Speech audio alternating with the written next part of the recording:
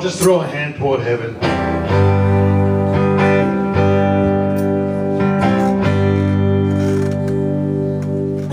Oh, hallelujah. Got to hold to God's unchanging hand. You got to hold to God's unchanging hand. You got to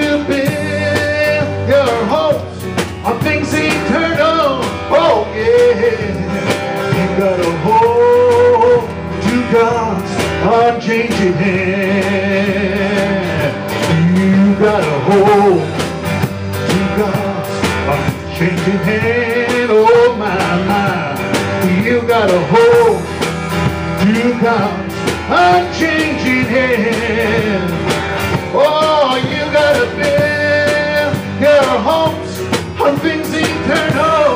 Oh, yes you do, yes you do. You gotta hold to God's unchanging hand. Well, you gotta hold to God's unchanging hand. Oh, you gotta hold to God's unchanging hand.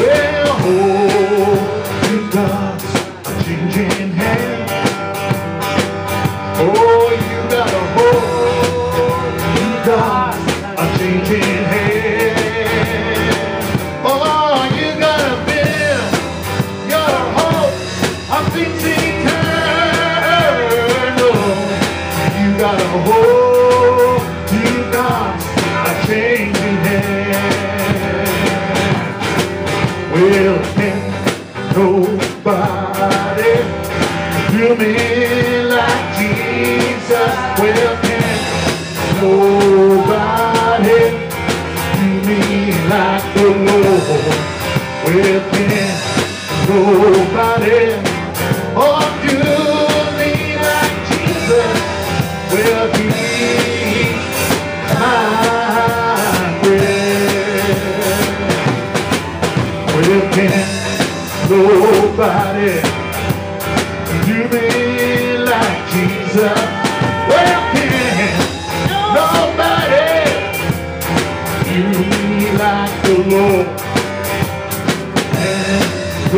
nobody do me like Jesus? For He is my, my friend. Well, you, my body, told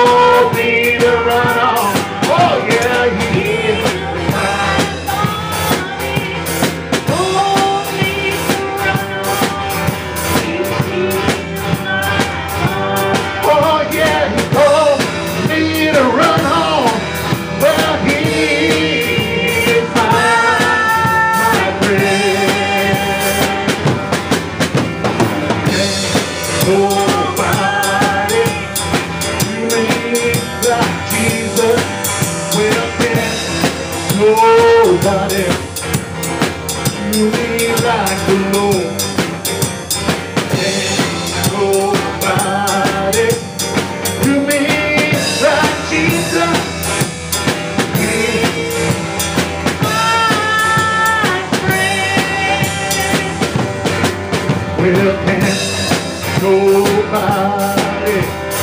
Do me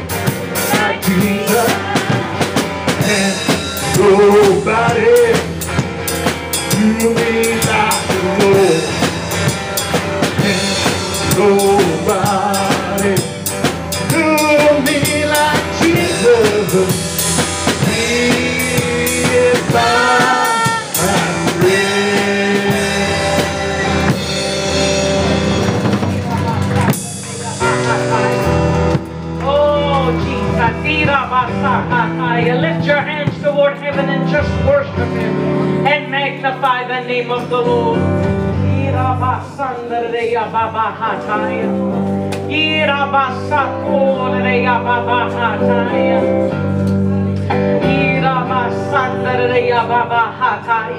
Oh, when your praises go up, God's blessing and power comes down. When you begin to call on Him, He answers you. When you begin to put your cares and your trust and everything that you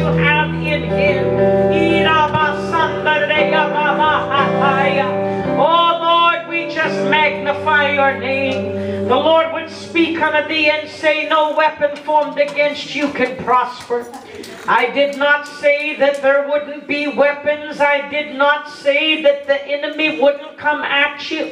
In fact, I said that he would come at you one way and flee from you seven. I did not say that things would not go wrong, but I said all things work together for good to them that are called by my purpose. You must realize that the battle that you're in now is not a flesh and blood battle. It's not a battle against flesh, it's a spiritual battle. You're facing spiritual wickedness in high places. He knows that his time is running out. And if he does not move now and get you to give up, he will not defeat you. Don't be afraid of them that would rise up against you, for truly them that are for you are greater than they that be against you. You might not see the angels in the chariots, but I will cause your eyes to open, and you will begin to see through Lord, and you will know that you're not in this battle by yourself. You're not in the fiery furnace alone. The fourth man is there. And I've given you victory, saith the Lord. Just begin to worship Him and magnify the name of the Lord. Oh Lord, we just worship you. We thank you because you're alive. And because you live we can face tomorrow. We don't have to fear. God said don't fear tomorrow. There's seven people in this place going through big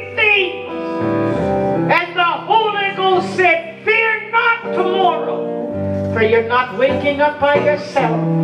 I am with you and i'm going ahead of you. And I'm making a way where there is no way.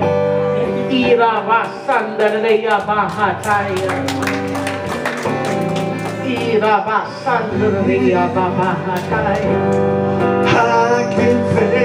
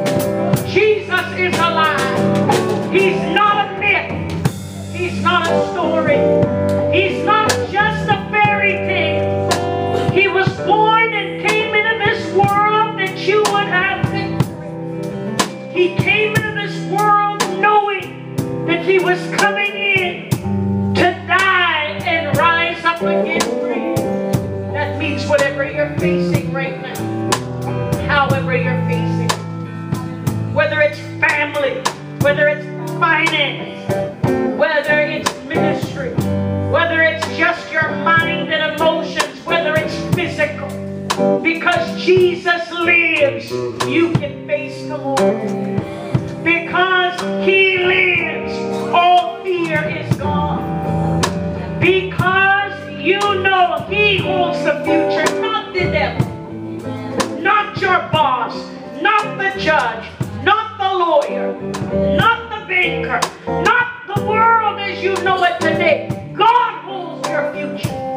The Bible says that He holds the hearts of the kings in the palm of His hand. And as He turns the rivers and waters, He can turn them for you.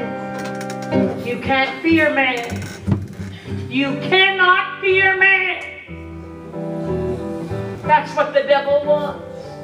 The devil wants you to live in fear because if you live in fear, you don't live in peace. If you live in fear, you don't live under the covenant that you have with God. The word of the Lord said, God has not given us the spirit of fear, but of power and of love and a sound mind. And it's much easier when you're not going through the battle of your life to say that I'm not going to operate in fear. But in the midst of your circumstance, in the midst of your battle, in the midst of the enemy fighting and coming against you physically, there are people here that are in a physical battle. There are people watching. You're in a physical battle. The devil is battling for your physical life. Some it's a spiritual battle. Some that are here and some that are watching, you're battling for a son that the enemy's trying to destroy. Eat on drugs and bind them up and put them in prison. But you got to stand on the word and you got to believe that God wants their victory even more than you do. Some are battling for families that are falling apart. Others are battling for finances, and it just seems like the devil is trying to, to choke the life out of you. But you got to stand on the word. I hear, keep hearing the Lord say, Fear no man. Because God can touch the heart of man and cause them to do for you what they would not do. God can speak to people that don't even know you and command them to find you, to bless you. They can, he can speak to them that they, when you step in and they hear your name, it can just trigger things and they can say, I've been waiting for you. Hallelujah. To cause the blessing and put it in your hand. He can give you favor in the courts. He can give you favor. I just keep hearing the Lord say, Fear not man and favor. I hear those words over and over again. The devil wants you to be afraid. He wants you to be pushed into something. Don't make any decisions haste. Amen. Don't let people force you. I don't care who they are. And I don't care what they say. And I don't care what their intentions are. Do not let people push you into making decisions. Take your time. Let God lead you. Don't shut a door without God already opening the other door. Don't allow the enemy to tell you, you better do something right now, or this is going to go wrong, or that's going to go wrong. Let the peace of the Lord lead you. The Lord has a way of working things out for the believer. It doesn't always work the way you want it to work. And it doesn't always happen the way you want it to happen. But the bottom line in our lives, if we can stand on the word and believe it, is He knows what we need more than we do. Amen. And He knows what really needs to happen. Amen. Absolutely. Amen. God's got it. Hallelujah. And if you could just ever realize that there is power in standing on the Word of God. You don't have to be moved. There, there's little songs that we sang over the years that just feel like they have simple messages, but the messages are deep. I shall not be moved. That's not just a song. Sometimes the devil comes right in the house of God to try to move you up. Sometimes he comes right in through your own house to try to move you up. Sometimes he comes in and uses people that you love and some that you thought you could depend on. But you've got to get it in your mind, I shall not be moved from where God wants me to be moved. They can laugh at me. They can make fun of me. They can say what they want to say about me. But like a tree that's planted by the water, I'm not going to be moved. This, many look for the opposition to come from the outside. Hallelujah. But there's times in your life that the enemy sends an inside attack. That's right. Amen. Because he wants you out of where God wants you to be. And some of you are going through that right now. Either inside the house of God or inside your own home. The enemy is trying to rise up against you, but the battle is not your battle. Amen. God is on your side. Keep standing. Don't waver. Don't move to the right hand or to the left hand. Don't try to figure out an easy, quicker way that doesn't take as much faith. Stand. Keep standing. Keep speaking victory. Keep speaking the word. You cannot afford to go on your feelings. Hallelujah. Too many of God's people run on their feelings and their emotions and they wonder why they never have victory. And you never will going on your feelings.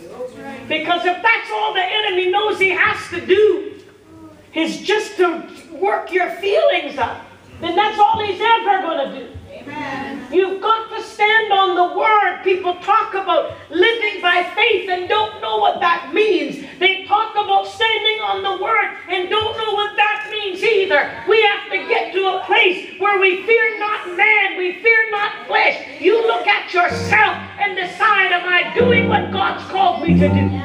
Am I doing my part? Is my heart right? right? You can't answer for anybody else. Amen. But you can answer for yourself. Yes. And if you're in this place and people are just trying to accuse you and you know that you've not done anything, it's because of the sin in their own life. When people are miserable Yes. And when people are constantly con- uh, accusing you of things and you know you're not wrong, it's because of issues they're dealing with. That's right. Thank you, Jesus. And you can work yourself up into a fury trying to wonder, or you can just give it to God. Amen. Because the bottom line is you know you. Yes. Thank you, Jesus. I know me. I know what's in my heart. Amen. I know that it is nothing but God that has got me through the last year and got me through in victory. And I know that I've done the absolute best I could Yes. in everything. And I may not be perfect, but I do know this I'm saved. Yes. And I'm filled with the Holy Ghost. And I have more power than the devil. And I know that I'm living the way the Word is telling me to live. Now, what anybody else thinks or says or does doesn't even bother me anymore. It used to. Amen. I used to think, how could they even think? And I don't even care anymore because the only thing that matters is God. Hallelujah. If God knows your heart, that's all that matters. Because He knows you. You're not saved because you look like everybody else. Thank you, Jesus. I know this is a touchy subject. And you and I know that my dad believed that a woman should look like a woman and a man should look like a man. And I believe that too. But I'm going to tell you something. Your clothes are the last thing that matters when it comes to serving God. The color of your hair, what you have on your face. Jesus. When it comes right down to it, you can look as holy as you want to look and still be full of the devil. Because I know a lot of people are like that. I know people that act like they're so religious and so full of power, and they have no power. They act like they're so into the word and so into the anointing, and they don't even know what the anointing is anymore. It's not about a sign. It's not about the way you look. It's about what's in your heart. And I want to know today what is in your heart. When you're doing what God wants you to do, He doesn't expect you to be perfect, but He expects you to live according to the Word or at least try. You can't, you're not supposed to be comfortable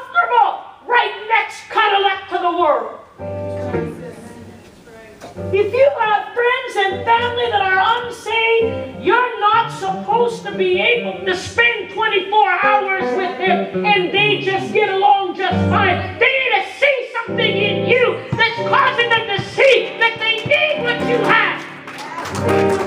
You're supposed to carry power and Holy Ghost. How many of you walk in power? Has anybody been reading Acts? Keep reading it. When you get through it, read it again. Because as far as I'm concerned, the book of Acts is one of the most powerful books in the entire Bible. And it shows you what you're supposed to be doing right now. Not upset because this person said that. Not upset because this person gets a promotion and you don't. You ought to be walking in the power of God. And those of you that are facing big things, and I'm not naming names, but there's some people here and there's some people watching by internet that are going through the battle of their life in this month of February. But I want you to know if God was able to move for the disciples when they faced the dignitaries and they faced the judges and some were even thrown in prison, why were they? Because they lived according to the word of the Lord and they preached the gospel. When you do what the Bible says, right down to taking care of your children, the world is not going to understand it, but God is going to fight your battle. And what the devil wants is fear. Because every time you've made a mistake in your life, it's because you made a decision out of fear. Almost every person that I know that has gone through a divorce went through it because the devil put a spirit of fear on them and told them that was the first, that was the only chance they were ever going to get. And they'd be better off at least to be able to say they were married. Why? Because the world says it?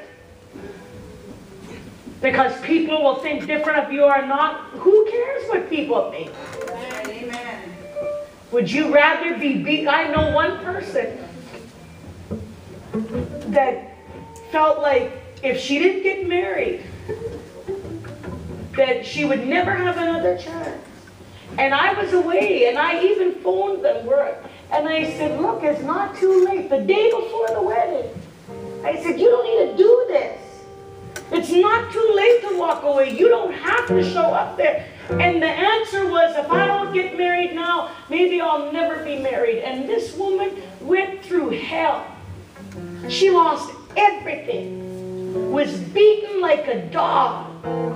Her children went through things, all because the devil lied to her and told her this is going to be your only chance. Yet, God brought someone else into her life later on, but all the hell she went through, being treated like an animal, and lost everything her house, her vehicle, everything, right down to the clothes. All because of fear. Don't let the enemy push you to do something. If it's your only chance you have Jesus, you're not alone with Jesus. The devil always tries to tell you, what are you going to do? It's just you. No, it's not just you. God's with you. He's the husband to the husbandless. He's the father to the fatherless. Your children don't need to depend on flesh. You don't need to them to think if this person isn't in their life. And I'm not just saying that because I'm a single parent. I want Julia to know that everything she needs, God can give her. Yes, amen. And as long as she has Jesus and me, she doesn't need anything else. Anything else is a bonus. That's right. I don't want her depending on flesh that's fickle. Amen. And the more people tell you they're going to be there for you, the less they are. Because when they really need something, they don't yap about it. They just do it. Thank you, Jesus. Hallelujah. I don't tell everything all the time. Thank you, Jesus. People seem to think I don't know how to give. I give all the time. I just don't tell people what I'm doing because it's none of your business. I don't help somebody and then go rub it in their face all the time. That's not God. I went to a church and the pastor was just not all there. And he said, I never tell people what I do. And then he called this person. They don't know I paid your rent. What the heck is that? Yeah, exactly. It's just having to say what I don't need people to know what I do for others. I'm not going to call the people up in this place that I've helped get groceries or put gas in their car or help them when their own family wouldn't. Amen. But I know what I've done. Yes. So it doesn't matter what people think or say or do. Stand on the word. Yes, amen. Don't let the devil put fear in your heart. Yes. We've got to stand and believe. I am believing God today.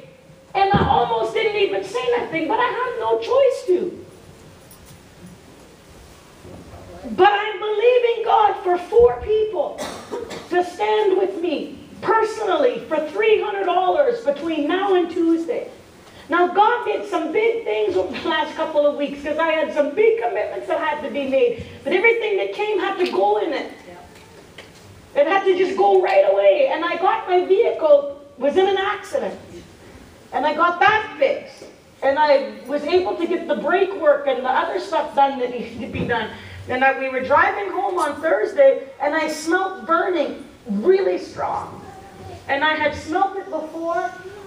I took the van in, but I always thought it was somebody else's vehicle because there would be something with exhaust coming out and but I smelt it really strong and I said, we got to get this van in and we got to take it in tonight and not drive it. So I took it in and, well, Brendan and Bessie took it in and then all of a sudden I wasn't getting answers from the dealership and I thought, oh great, this is not a good sign. But uh, finally I called him and I guess the guy got aggravated with me because I called him lots and lots and he gave me this long list. I mean, it, like 15 things and I thought, oh Jesus, I was hoping it was just a fan or something because when I turned it on high, that's when I smelt it worse on my side. And then I thought, well, maybe they just spilled oil when they did an oil change and all this stuff. But it wasn't bad at all. It was like, oh my God. And I was physically sick. I just felt like I wanted to throw up. You ever get like that? You hear something and you just want to throw up? That's how I got. And then I thought, oh, I don't even want you to call me back. He said, I'm getting a, working on a quote, and I can. He was working on this quote for two hours. I thought, Jesus. And anyway, he finally called me back and he went over this list again. And I said, Yeah, I heard you the first time. And he said, I've got this quote and it's not as bad as you think. And I said, Really? And he said, It'll be about $1,200. It was going to be almost 1,400. But I said, Could you just do something for me and, and give me some kind of a, uh, something? And he brought it down to $1,200.